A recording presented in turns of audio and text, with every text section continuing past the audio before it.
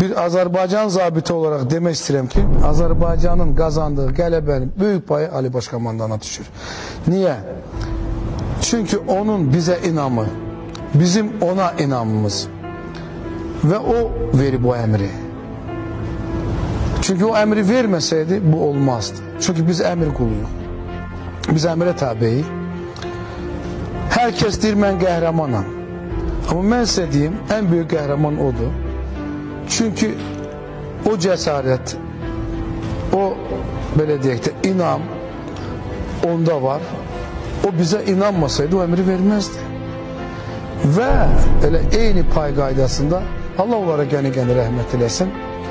Şəhidlərin qanunla alınıb bu torpaq. Şəhidlər təbii ki Bəqərə surəsində dildiyi kimi asla onlara ölü demeyin. Vurgulayır Allah subhanahu taala. Ve çok şükür ki biz elə uşaqlar gördük, elə oğullar gördük və elə bir vətən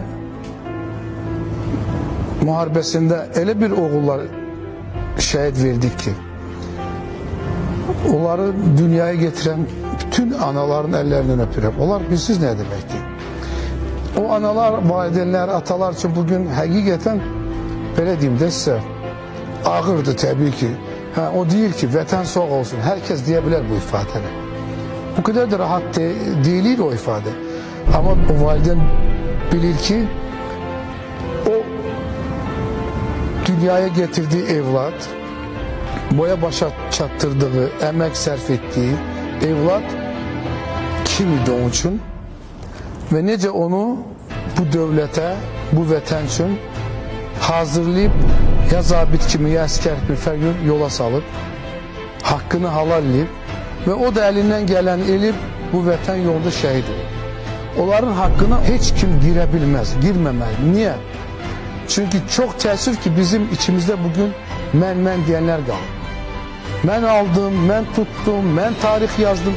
Cenab-ı Ali Başkomandan belə ifadəsindədir ki, biz tarix yazdıq. Biz qələbə qazandıq.